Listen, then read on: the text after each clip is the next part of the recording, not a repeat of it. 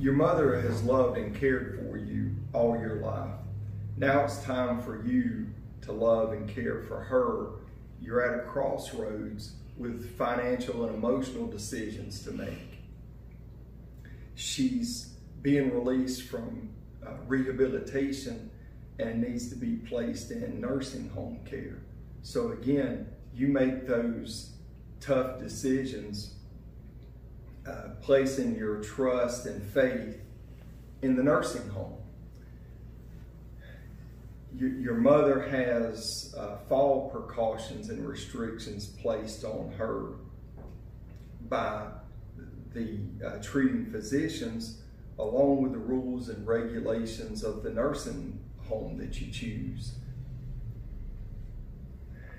Your uh, faith and trust is there that those doctor's orders and rules and regulations are going to be followed because you know how vulnerable your mother is and how she needs and deserves the best care possible.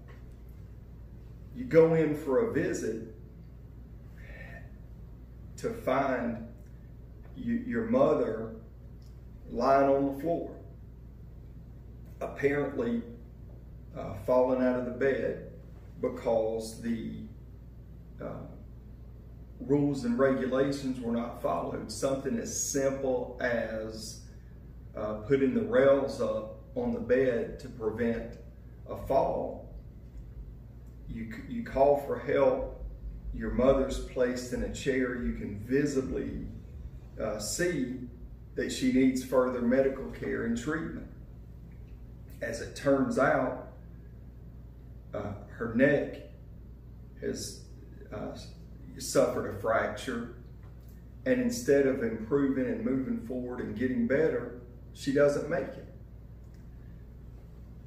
Unfortunately, this is the reality uh, that uh, families in our community face from time to time.